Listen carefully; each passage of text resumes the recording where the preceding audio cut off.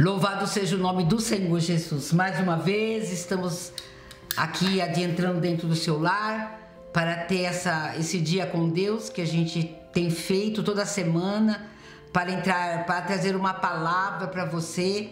É, como eu sempre digo, Deus primeiro fala comigo. Primeiro Ele fala dentro do meu coração, para depois eu estar transmitindo a palavra para vocês. E o que o Senhor, o Espírito Santo de Deus hoje me deu para me trazer para vocês é uma palavra bem conhecida também, porque a palavra do Senhor, como diz, né, ela se renova a cada manhã e é bem conhecida. Mas antes de eu estar tá entrando na palavra para mim ministrar na sua vida, eu quero estar tá orando por você.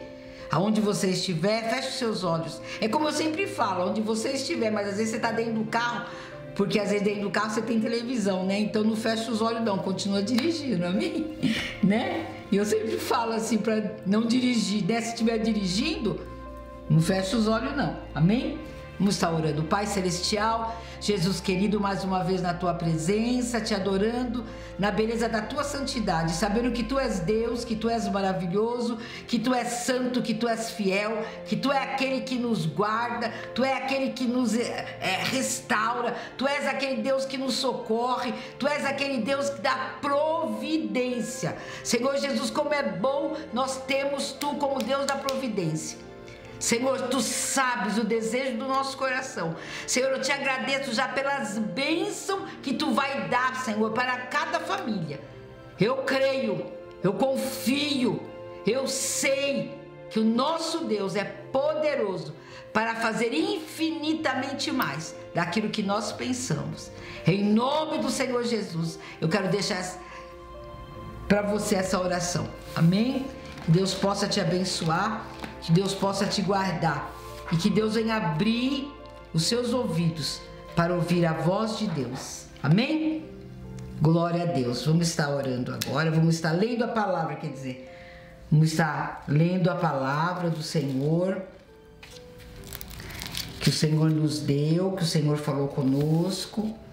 Eu tenho certeza que Deus é grandioso, maravilhoso. O Senhor nos deu Lá em Deuteronômio 28. Vamos estar lendo aqui mais um pouquinho. A gente está aqui desfolhando a palavra de Deus, porque é bom a gente ouvir, né?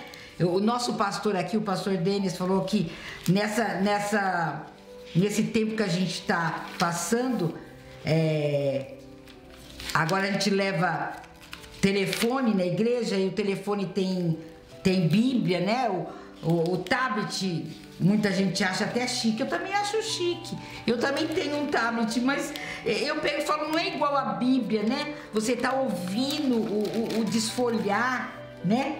Da Bíblia. Que gostoso que é quando a gente abre assim, ó, e desfolha a palavra de Deus, não é? Eu acho. Porque a gente sente, parece que a, a, as folhas parece que vai entrando dentro do nosso coração. E o Senhor falou no meu coração essa palavra. Deuteronômio 28, uma palavra conhecidíssima. Mas é que Deus quer falar com você.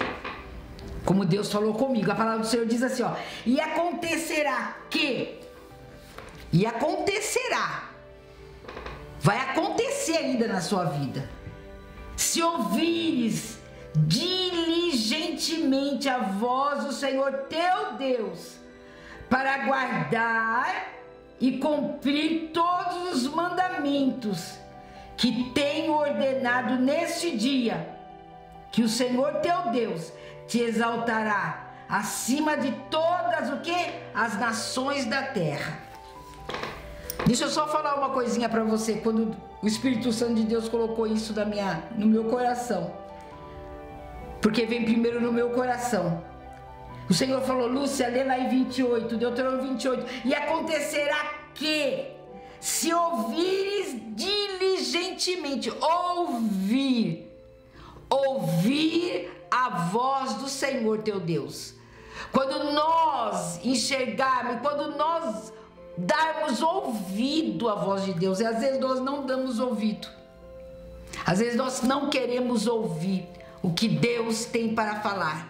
E o Senhor está falando aqui: acontecerá se ouvires, e tem esse se. Para que Deus venha abençoar, você tem que entrar nesse si. Ouvires diligentemente a voz do Senhor teu Deus para guardar e cumprir todos os seus mandamentos que te ordeno neste dia, que o Senhor teu Deus se exaltará acima de todas as nações. E o 2 o o diz assim: E todas as bênçãos virão sobre virão a ti e te alcançarão se ouvires, se ouvires a voz do Senhor teu Deus. Olha que coisa. Se nós vamos decorrer mais alguns versículos e todos os versículos diz: "Sim, as bênçãos, você quer bênção? Ah, hoje está um negócio de receba a bênção, levanta a mão e desce a mão, não é? Você quer uma bênção, a prosperidade, a bênção, não é tudo isso. Mas para que a gente venha ter todas as bênçãos do Senhor. Nós temos que dar o que? Ouvido. Nós temos que entrar na direção de Deus. Nós temos que entrar na posição que o Senhor tem nos dado. Você quer? Hã? Você quer ouvir? Você quer obedecer? Você quer as bênçãos do Senhor? Você quer que Deus venha prosperar a tua casa, o teu lar, a tua família? Entra no caminho. Venha para o caminho. Entra na posição que Deus quer te chamar. Deus tem te chamado. E muitas vezes você não está dando ouvido, a atenção que Ele quer te dar. E diz assim ainda, ó. Olha aí que diz o, o 3: Bendito será tu na cidade, e bendito será no campo. Aonde Deus te levar, Deus vai te abençoar. E diz assim, ó: Bendito será o fruto do teu corpo, e algumas palavras falam do teu ventre. E o fruto da tua terra. O que, que é isso? Fazenda. Você quer fazenda? Você quer sítio? Ah! Você quer um business? Aqui, aqui nos Estados Unidos fala business, acho que é business. Eu não sei falar muito inglês não, mas acho que é isso. Empresa. Ai, Mano Lúcia já tá falando em empresa nessa pandemia, nessa. Né, é, é aí que Deus move, é aí que Deus faz. Deus faz no impossível. Deus faz, Deus tem feito na minha vida coisas impossíveis aos olhos do humano. Não é verdade? Deus tem feito coisas difíceis nos olhos, mas se nós tivermos se nós dermos ouvido, se nós acreditar, se nós confessarmos que Deus é o Deus que move as águas, e se nós entrarmos pelo caminho, pelos mandamentos do Senhor, diz assim, ó, e todas as bênçãos, não é só uma, nem duas, nem três, não é todas. Oh, aleluia, Jesus. Todas as bênçãos vão vir sobre você. Lógico, todas, toda benção, ela tem um processo de prova. Todas as bênçãos vêm com um processo de prova. Você passa a prova para você vir a bênção. É a mesma coisa, você está na escola, hã? você entra na escola, faz uma faculdade, o primário, vai para vai vai o colegial, que nem o pastor falou também, que agora tem colegial, né? Na nossa época era colegial, ginásio. Vai para uma faculdade, mas tudo isso você tem passo a passo. E quando nós ouvimos a voz do Senhor, então, muitas coisas vão vir sobre a nossa vida. Bendito será o fruto do teu corpo. E diz assim, ó, o 5: Bendito serás o teu cesto e o teu armazém. O que, que, é isso? O teu celeiro. Em algumas palavras, em algumas Bíblias fala celeiro. Bendito será o celeiro. Bendito serás. Diz assim, ó. O fruto, o fruto, bendito serás o cesto. Bendito serás quando entrares e bendito serás quando saíres. O Senhor fará com que os teus inimigos que se levantaram contra ti sejam o que? Feridos perante a tua face. Sairão contra ti por um caminho e fugirão diante de ti por sete caminhos. Meu filho, quando Deus quer operar, quando Deus quer fazer, eu, eu falo que o nosso inimigo, ele vai correr sim, ele vai correr, ele vai para muitos lugares, Mas eu quero também que os meus inimigos, eu chamo eles para eles virem comer. Prepara uma mesa perante mim, na presença dos meus inimigos. O que é isso? Preparando uma mesa, preparando algo que ele vai ver que você, eles têm que participar. Eles têm que ver, eles têm que ver o que Deus vai fazer na tua vida. Mas para que Deus venha fazer alguma coisa na sua vida, para que você venha, você tem que entrar pelo caminho da obediência, pelo caminho de ouvir a palavra, pelo caminho de estar com Cristo Jesus. Eu sou o caminho, a verdade e a vida. Ninguém vai ao Pai a não ser por mim. Então, quando você entra no caminho, quando você fica com Jesus, quando você obedece a palavra do Senhor, quando você medita na palavra de Deus, porque muitas vezes você não quer perder tempo de meditar na palavra de Deus. Você não quer parar um segundo para você. E também, olha, uma vírgula muda tudo. Olha, se, uma, só o S e o E. Olha como muda. Com o, o texto todinho. E diz assim ainda, ó. O Senhor fará, o Senhor ordenará que as bênçãos estejam contigo nos teus celeiros, em tudo que puseres o quê? As mãos. Prosperará. E diz assim ainda, ó.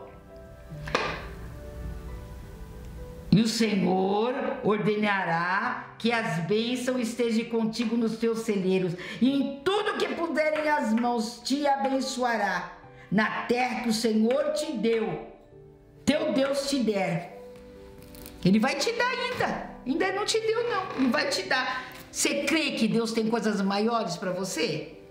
Mas para você, para acontecer isso, para que isso venha acontecer na tua vida, você precisa obedecer.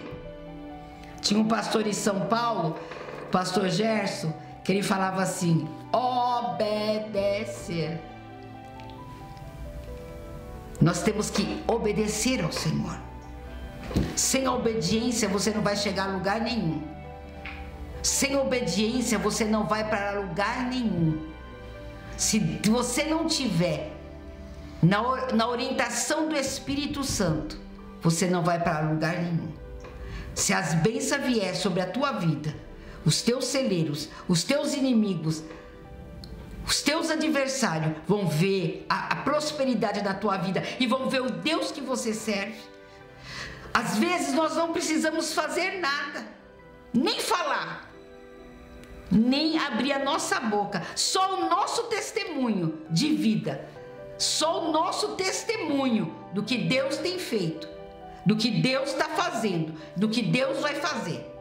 Eles vão ver eles vão ver a benção da tua casa e diz assim, ó: Buscai primeiro o quê? O que, que é para buscar primeiro o reino de Deus e a sua justiça. E as demais coisas não serão o quê? Acrescentado. Então tudo isso que está aqui em Deuteronômio, tudo isso que está escrito na lei, porque Jesus veio para cumprir a lei. Tudo isso que está escrito aqui vai acontecer na tua. Não, irmão, você não vai, não. Isso daí foi naquela época. Não. É para nós hoje. É para mim e para você. Tira a tua preocupação. Tira a tua angústia. Em nome de Jesus. Confia. Nós não confiamos nessa palavra. Buscai primeiro o reino de Deus e a sua justiça e as demais coisas não serão acrescentadas. Tudo que vir na tua vida é porque foi Ele que fez, foi Ele que deu. Muitas vezes vem a dúvida, lógico, ninguém é forte, ninguém é super-homem nem super-mulher, todos nós temos falha. Mas o Senhor falou: se você descansa, descansa no Senhor, descansa nele. Deleita-se do, do, Senhor e Ele concederá o desejo do teu coração. O salmista já falava isso. Mas se você, se você não, não confiar, se você não crê nesse Deus, como que Ele vai poder te abençoar? O pastor domingo ele fez uma, uma, uma, uma palavra, ele trouxe uma palavra, e durante essa palavra, ele é, é, fazendo essa. Estava é, dentro do, do contexto e do texto que ele estava ministrando. Ele pegou um jovem, tirou o jovem lá do lugar dele e, na, na, palavra dele, trouxe para sentar. Naquele lugar, ele estava explicando que naquele lugar que ele estava, no modo de dizer, ali tem fofoca, tem disse-me-disse, tem um mundaréu de coisas. E ele tirou o jovem dali só para para fazer a gente entender, que a gente estava entendendo. E colocou o jovem no outro lugar, para sentar no outro lugar. Colocou o jovem para sentar no outro lugar. E continuou a pregar, ministrou a palavra, tal. Quando terminou, que ele colocou todos a igreja de pé e nós ficamos em pé, o jovem, onde ele estava, ele sentiu de sair e voltar para o lugar que ele estava, sem o pastor falar nada, né? E ele foi lá para o novo lugar, no outro lugarzinho dele. Aí o pastor olhou, estava falando, daqui a pouco o pastor olhou e falou: Ué, cadê ele que estava ali? Já, não, volta para o lugar onde você estava. Mas sabe que deu para me entender? Até nós caímos da risada, sabe? Foi assim, muito gostoso essa parte, né? Aí Deus me deu muitas vezes, preste atenção, muitas vezes Deus te coloca você no lugar e você está tão angustioso, tão assim, tão achando que daquele outro lugar vai vir mais rápido a benção. que Deus me deu foi isso. Porque na hora que Deus vai olhar, olha só, eu achei até gozado, o pastor, já, o pastor Denis não tinha visto mesmo que ele tinha mudado. Porque a hora que o pastor foi procurar ele, ele já não estava mais lá. Aí Deus falou assim: a mesma coisa eu. Muitas vezes eu quero dar bênção, manda o meu povo ficar ali. O anjo vai chegar para dar bênção ali. Quando vê, já está do outro lado. Já, já mudou o caminho. Então, para a gente poder receber a vitória, para a gente receber a benção, para nós recebermos o que Deus tem prometido, vamos ficar no lugar, vamos ouvir a voz de Deus, porque as bênçãos do Senhor caminharão sobre a tua casa, caminharão sobre a tua vida, porque diz assim: eu já vou terminar já. Diz assim: o 9: O Senhor te estabelecerá como um povo santo para si mesmo como te jurou e guardar, se guardares os mandamentos do Senhor teu Deus e andares nos seus caminhos, e todos os povos da terra verão que é chamado pelo nome do Senhor e terão que medo de ti.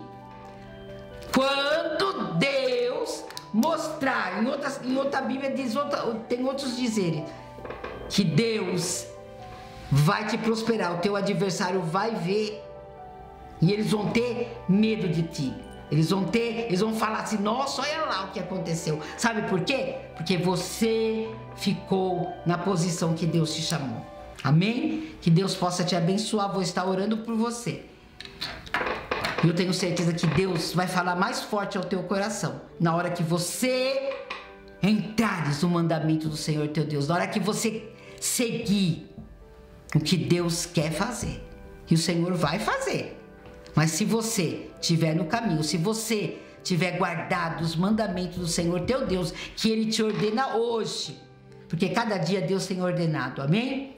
Em nome de Jesus, feche os seus olhos. Pai maravilhoso, Jesus querido, te damos graça, Senhor, por tudo que tu tens feito. Senhor Jesus, muito obrigado por essa palavra. Muito obrigado por todos que vão estar ouvindo, Senhor Jesus, vão estar assistindo essa programação, que venha falar mais forte, Senhor, no coração de cada um, Senhor. Senhor, nós te pedimos agora, venha guardar, Senhor, venha prosperar. É aqueles que estão enfermos, aqueles que estão doentes, aqueles que estão às vezes até com essa Covid, com esse, com esse vírus, Pai. Eu te peço agora, socorre, Senhor.